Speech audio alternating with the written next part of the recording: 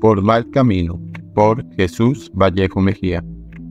Reitero que no soy apologista de la constitución política que nos rige. Desde un principio la he criticado a partir de su origen espurio y sus extravíos normativos. No he vacilado en llamarla el código funesto.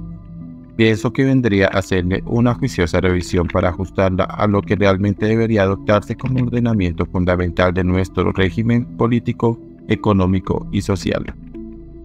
Como sucede en países más avanzados, la nuestra debería ser más concisa y realista.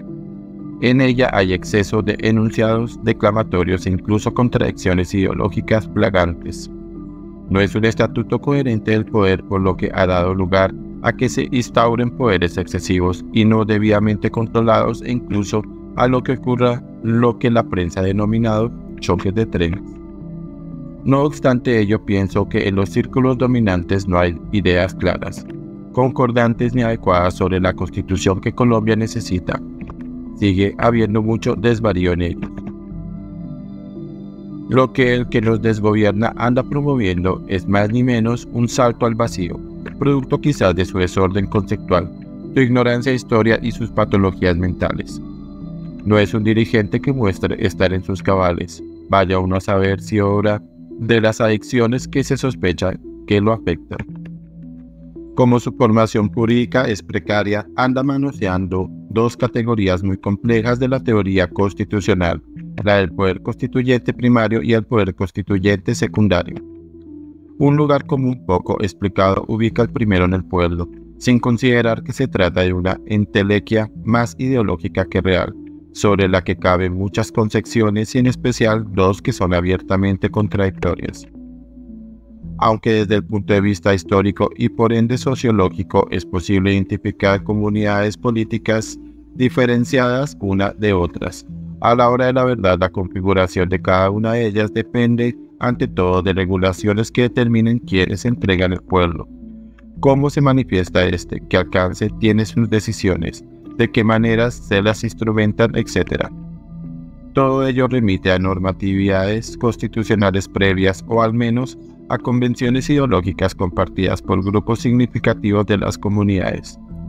Nosotros el pueblo, tal como lo proclama por ejemplo el preámbulo de la Constitución norteamericana, no deja de ser una ficción exitosa en cuya virtud una minoría se atribuyó la representación de una comunidad heterogénea y compleja.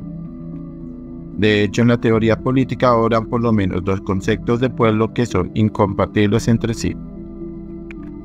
Uno es el de la comunidad liberal que considera que el pueblo se integra por ciudadanos racionales que, debidamente informados, depositan de modo responsable y voluntario sus votos en pro de distintas opciones que se estiman adecuadas para la gestión del bien común.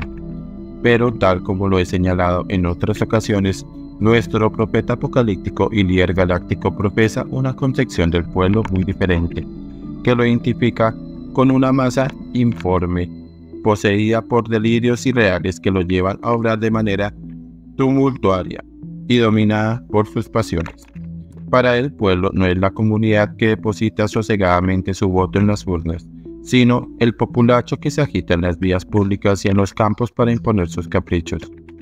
La suya es una concepción que evoca la de los jacobinos que sembraron el terror en la Francia revolucionaria. No cabe duda de que lo que se propone es crear primeras líneas a lo largo y ancho del territorio nacional con un designio decididamente revolucionario. Tergiversando no solo desde el punto de vista jurídico, sino desde el histórico, la institución del Cabildo Abierto aspira a que en todos los municipios operen supuestas asambleas populares que manifiesten sus ideas sobre el ordenamiento institucional, que en conjunto decida como poder constituyente que por sí y ante sí se imponga sobre toda la sociedad, a expensas de los poderes constituidos regularmente. Es bueno recordar que estamos bajo el desgobierno de un comunista y no de un socialdemócrata, como ingenuamente lo creyeron muchos de los que apoyaron sus aspiraciones presidenciales. Su proyecto político nos inspira en Corea del Sur, como mentirosamente le dijo a Vicky Ávila, sino en Corea del Norte, Cuba, Venezuela o, según piensa uno de mis grandes amigos, en la Camboya de Pol Pot. Hay muy buenos argumentos para adelantar contra el tanto el juicio político como el criminal llamados a frustrar sus apetitos disolventes y claramente dictatoriales. Si el Congreso y las altas cortes no obran a tiempo, el camino que nos espera es el que conduce al caos. Ya lo bordeamos con el debilitamiento de la fuerza pública y el auge de la delincuencia de todos los pelambres. Baste con imaginar lo que serían esas asambleas populares en los más de 400 municipios que ya están bajo el control de los delincuentes. Nunca en la historia de Colombia habíamos estado en una situación de tamaña gravedad.